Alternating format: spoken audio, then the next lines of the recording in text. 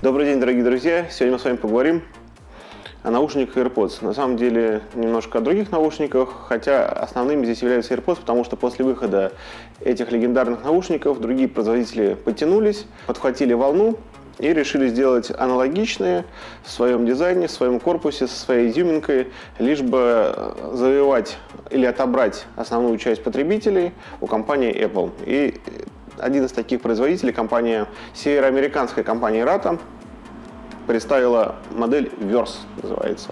Давайте посмотрим, что это за наушники, распакуем, послушаем, ну, немножко поговорим о них.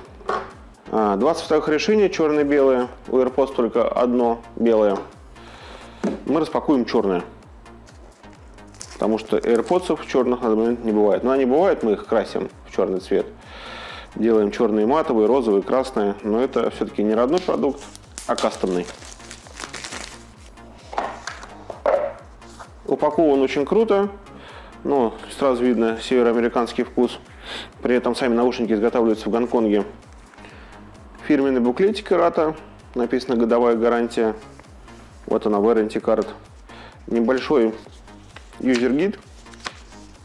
Быстрое подключение, быстрая установка, что в комплекте. И, собственно, управление. Здесь на наушнике есть кнопочка. Написано одно нажатие ответ на вызов, два нажатия регулировка громкости и так далее.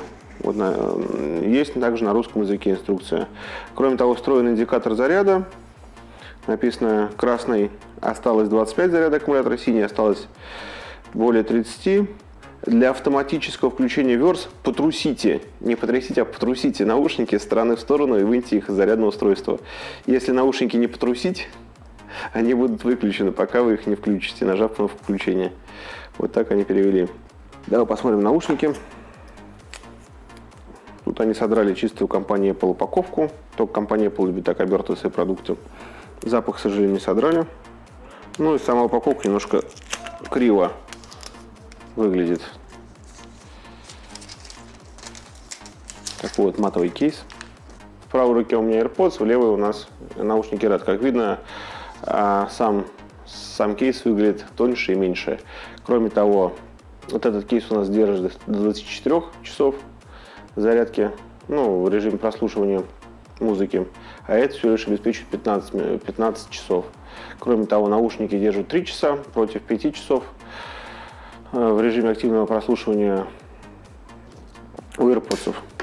Размер никак не повлиял на автономность продукта. Ну, собственно, зато выглядит внутри неплохо.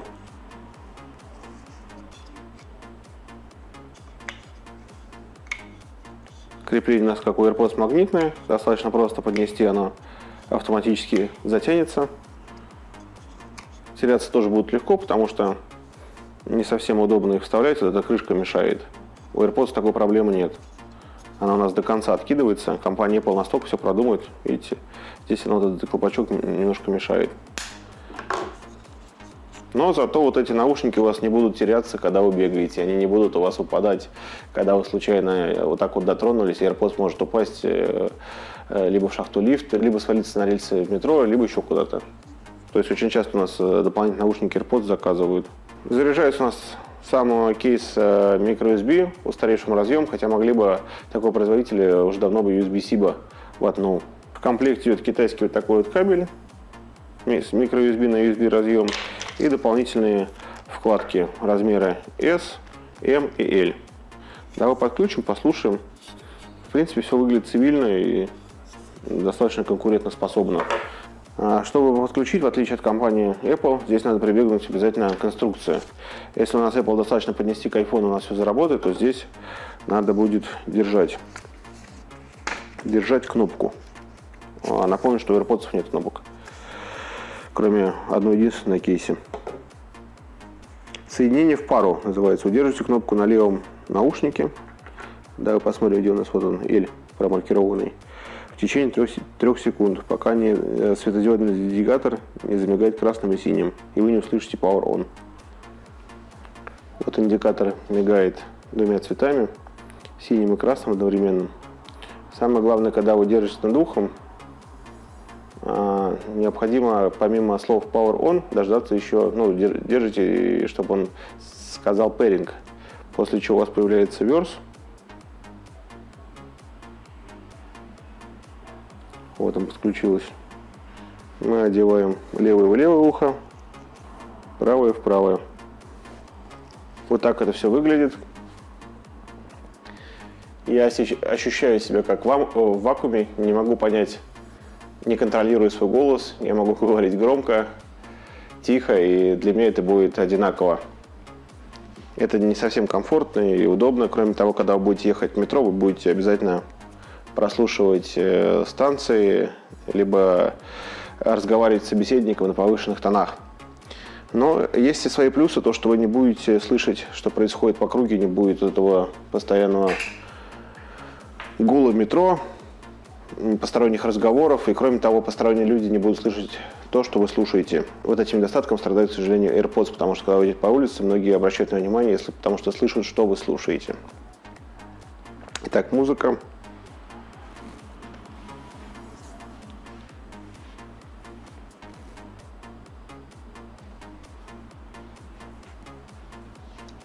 Все понятно. Играют чуть хуже AirPods. Вот с AirPods я гоняю ровно месяц. С этими э, вообще не гоняю, потому что я только достал с коробки и оценил качество звука. Я понял, что да, они играют немножко хуже AirPods, несмотря на то, что они вакуумные, несмотря на то, что они полностью заглушают, заглушают шум, который идет извне. Они играют хуже. Не знаю почему, но играют хуже. Я бы не стал их рекомендовать э, как э, замену или альтернативу более продвинутому продукту, который у нас идет AirPods. Качество звука отменное, но у этого продукта есть существенный недостаток, то, что он выпадает из ушей.